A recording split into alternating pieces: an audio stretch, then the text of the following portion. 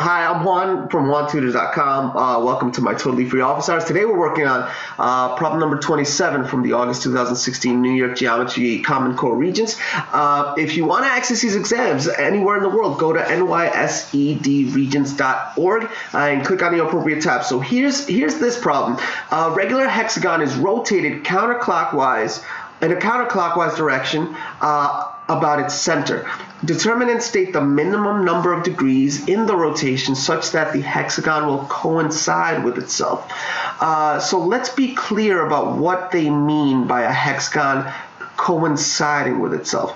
It means that if you take a hexagon, regular hexagon, okay,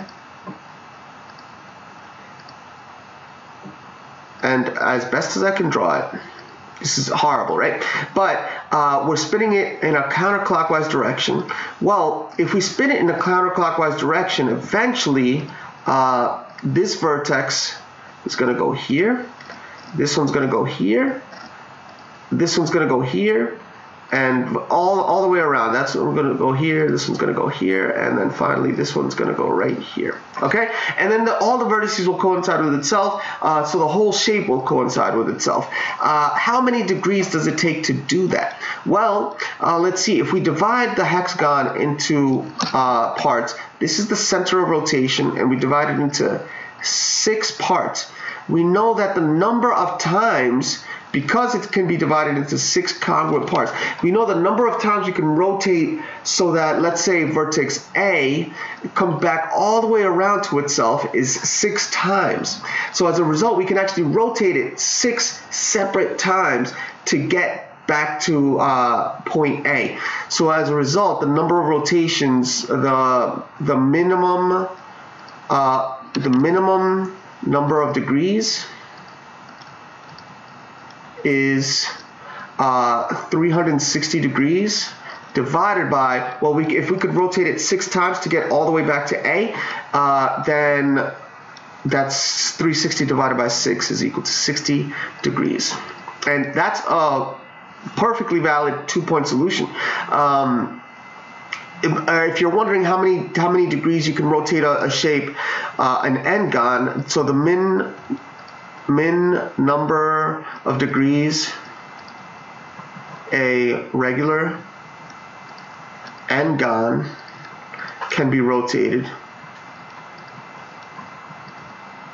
uh, so that uh, it coincides with itself well, is it for by the same argument that we made here. We can separate the regular n-gon into n congruent pieces, so we can actually rotate the regular n-gon n times to get each vertex back to its original location. So each ro rotation has to be then 360 degrees uh, divided by n and that's uh, that's a theorem that you can remember. They do expect you to know that theorem, so keep it in the back of your mind so that when you're doing multiple choice questions, it's there and available for you. Now, if all you wanted to do is get this is this is by the way a separate uh, tutorial. If all you wanted to do is get the answer, then definitely hit the next button so you can get problem 28. But we did create an extra problem for you so you could practice it.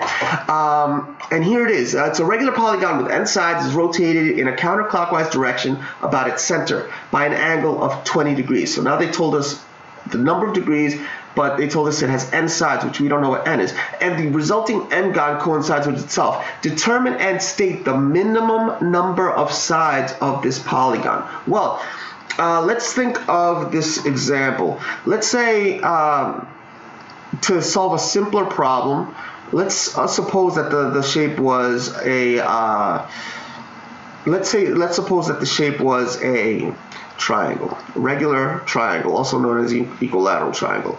Well, this can be rotated uh, 120 degrees uh, uh, to get back to itself. And if you rotate it three times, you get back to the original shape. A square, also known as a regular quadrilateral, can be rotated four times to get back to itself. Okay, so uh, counterclockwise. So that the, the, minimum rotation for this one is 90 degrees. Now, if you notice that 360 divided by 4 is, is 90. But now I'm going to show you another shape that can also be rotated 90 degrees so that it coincides with itself. uh, a regular and a regular octagon. Okay, so a regular octagon. Now this one can be also rotated 90 degrees, but that's not the minimum. The minimum is 360 divided by 8. Okay, and so in general we see a pattern. Uh, each polygon, the, the minimum, the number of rotations that it can, the number of degrees that it can be rotated so that it coincides with itself is exactly uh, 360 divided by the number of sides. So as a result, if it happens to be that 20 is a factor of 360, then all we have to do is solve the equation that 360 divided by n is equal to 20. And hopefully n is an integer if this is the case. If not, then we try 360 over 2n, and then 360 over 3n, 360 over 4n until we get an integer. But um, let's see, times n times n. So 360 equals 20n, uh, and then divide by 20, divide by 20, and we get uh, n is equal to well 360 divided by 20 the three the zeros cancel you get 18 and so n is an integer so this is in fact the minimum number of sides that this polygon can have. Uh, that's the answer. This is this is all the work that's needed okay? All this other stuff was to gain some intuition on this problem and I, I, highly recommend that you use your note paper to gain some intuition on this problem. They don't judge you on the part of the, the work that you gain some intuition. So you could do, totally do it on right on that. If you don't want to do it right on there, you can go to the back. There's scrap paper, and you can do whatever you want on that scrap paper. Uh, all right, listen, keep working at it. I know you can do it. Keep watching these videos because I know they're definitely helpful. And uh, thanks for watching, and stay tuned for the next video starting right now.